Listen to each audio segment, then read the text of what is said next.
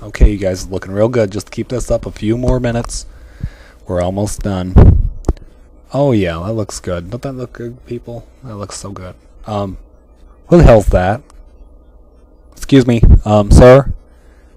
Sir, could you get off the stage, please? Security. Security. Where the hell's security when you need him? Excuse me, you little bastard. If you don't get off the stage, I'm going to grab you by the hair of your little chin and I'm going to pull you off myself. Hello, do you hear me? Oh my god. Oh, just wonderful. He's brought a little buddy too.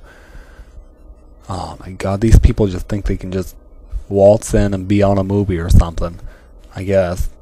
Excuse me, sir, Mr. Elf. Do you have clearance papers, sir? Hello? I give up.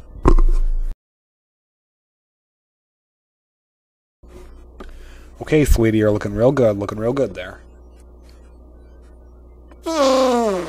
Oh, Jesus, did that come from you? Clear the room! Oh my god. So, uh, sweetie, what are you, what are you doing after this? Huh? It's good, sweetie. Sorry it's a little dark, but you just keep dancing. My boyfriend's gonna kill me after this. Why?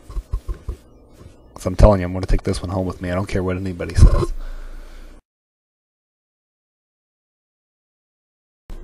Run, Forrest, run! He's gonna kill me.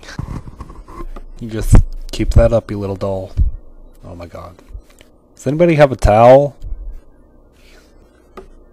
Now see, um, the dilemma here is that during a little spat, Arya changed Uten into a sheep, and uh, now Uten's kind of going on a rampage here.